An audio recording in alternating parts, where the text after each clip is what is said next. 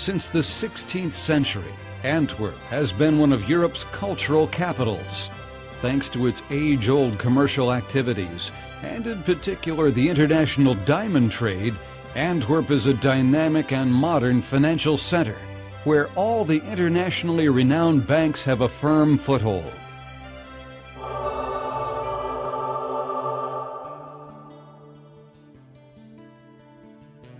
Antwerp, a city where diamonds sparkle, where international trade and industry go hand in hand. Antwerp has been the diamond center since the 15th century, consistently outstanding for the craftsmanship of the Antwerp diamond polishers and its unique infrastructure. Antwerp, the city where diamonds acquire their brilliance. Antwerp, World Diamond Center. Within an area of barely two square kilometers, Antwerp accommodates thousands of offices, diamond workshops, and four out of the 22 existing diamond bourses.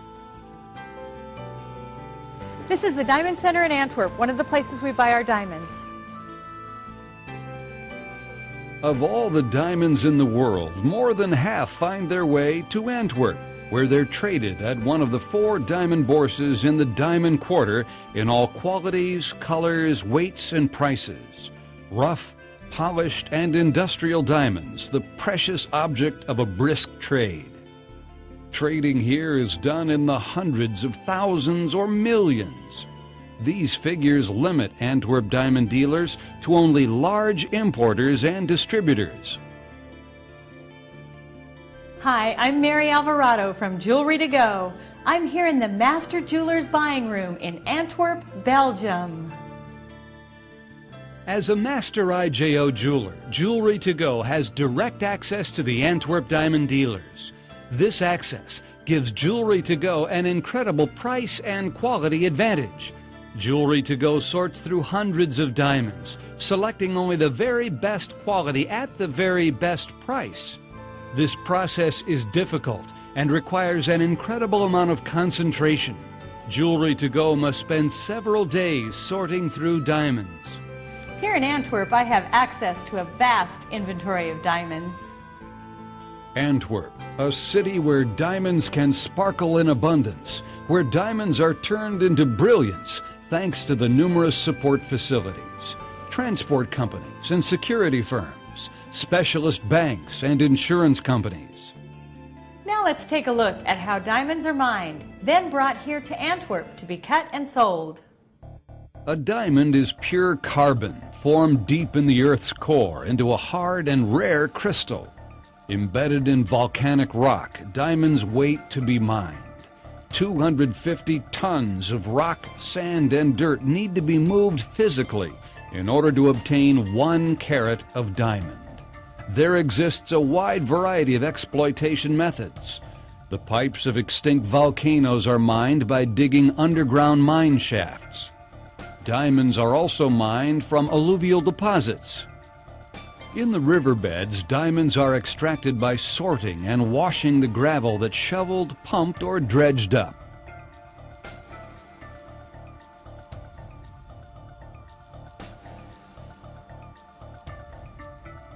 Maritime mining is a more direct approach.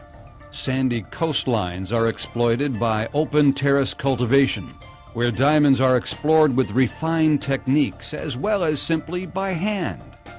A diamond bearing volcano pipe can also be mined by open cast mining. The kimberlite and lamproite blocks obtained by crushing, explosion, or quarrying are taken to the processing plant where they're ground and washed into a concentrated diamond bearing residue. It's almost like looking for a needle in a haystack. The precious stone is explored with every possible means and modern technology. Tons of rock have to be worked for a few diamonds.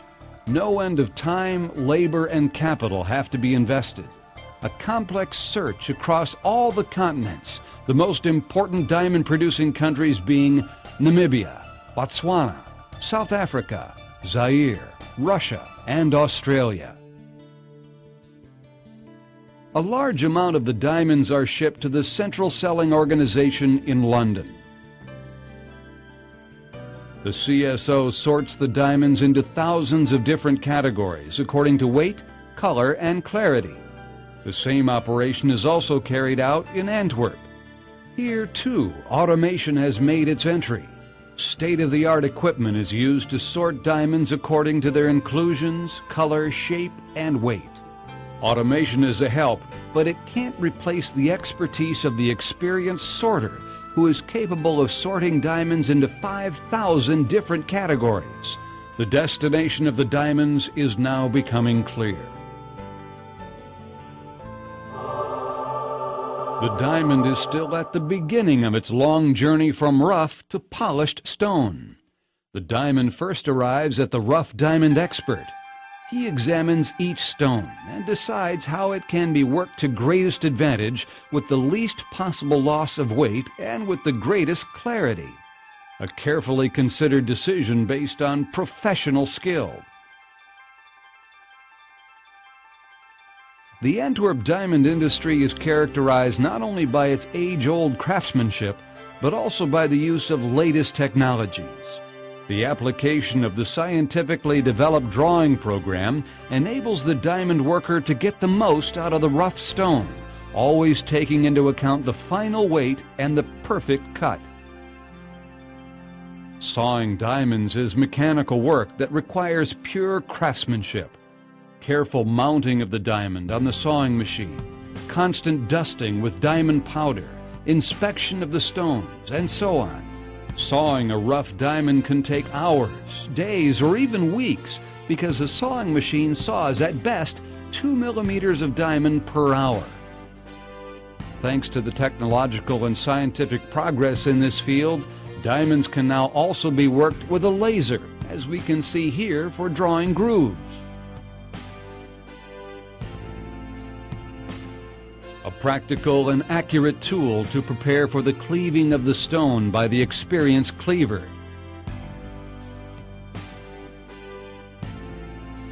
Furthermore, the laser is also used to saw the diamonds.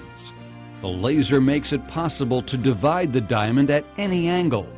The diamond can be shaped in whichever way we wish without having to take the stone's growth direction into account.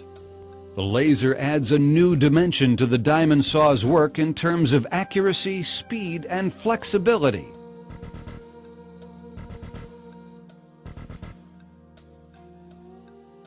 The diamond is ready for bruting.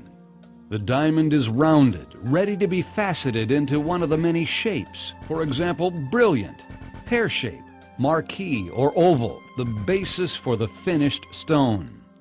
Another asset of modern technology is the use of automatic bruting machines. As in traditional bruting, two stones are rubbed against each other until the diamond acquires the desired shape, the girdle. It's no longer necessary to interrupt the process. Time, precision, and quality profit by this new system. Staying at the top is the motto of the Antwerp diamond industry. Polishing gives the diamond its final shape. The stone has nearly completed its long journey. The diamond will be given a brilliant, pear, oval, marquise, heart, baguette, or other fancy shape. All in perfect symmetry and proportions. A fine example of craftsmanship. The diamond now acquires its luster, fire, and magical sparkle. Antwerp diamond cutters are truly the finest cutters in the world. Antwerp stands out for the perfectly controlled combination of its centuries old craftsmanship and the use of state of the art technology. Buying directly from Antwerp gives me a significant price and quality advantage and access to a tremendous inventory of diamonds.